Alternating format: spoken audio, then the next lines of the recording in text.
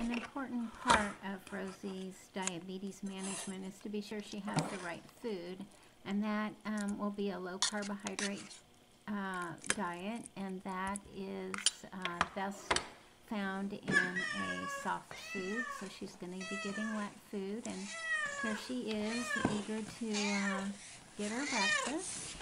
So she goes right in the crate, and um, you set the bowl down, and going to close that crate door and give her about 15 minutes to eat her breakfast, and then we'll come back and um, give her insulin.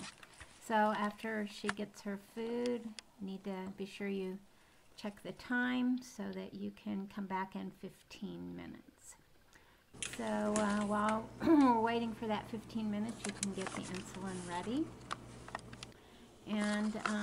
Just open it up and uh, slowly mix it.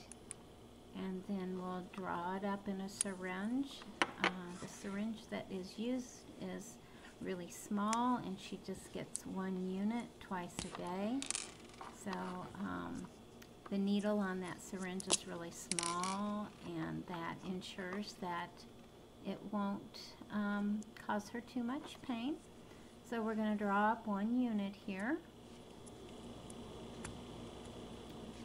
And then that will be ready for Rosie in uh, 15 minutes after she starts eating.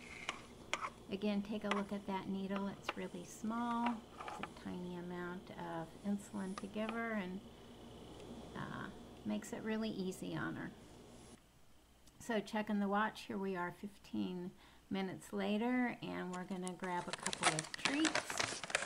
And um, she will have been done eating and she climbs up into her hammock and is ready for her insulin. So I just come over here and open her crate up, give her a little treat, and then inject the insulin. And she tolerates it quite well. She's very treat motivated, so it's this is a really easy way to um, ensure she gets her insulin twice a day. So just a little a pinch of the skin and an injection and she's all done. She gets another treat and she's out of that crate and ready to start her day.